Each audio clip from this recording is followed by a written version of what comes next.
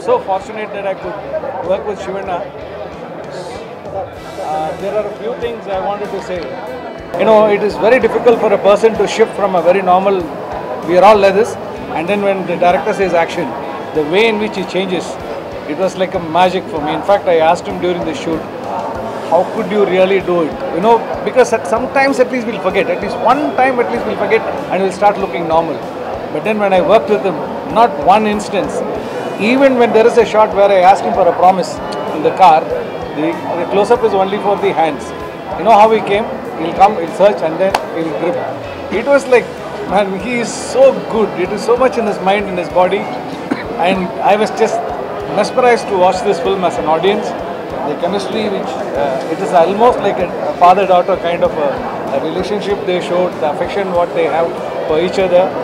And I don't have to say anything about this guy. He's like a he's like a real villain with his voice. And towards the end, in the climax, the changeover from a very bad guy into a, uh, you know the feel. Father.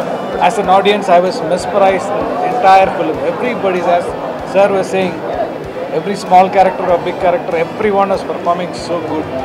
And thanks to the director, he gave me the lines in advance because it's in Kannada.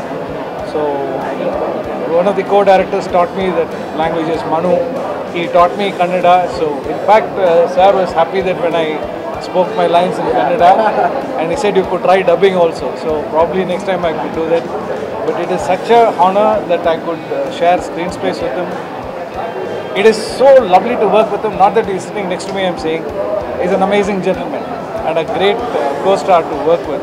I thoroughly enjoyed great actor in Kannada. You will take in other languages, Shivanna, if you like to take any other language.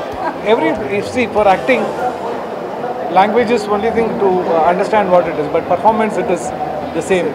So the way in which he rocks, I watched a few films because I uh, I'm coming to Kannada, so I watched uh, and the earlier film.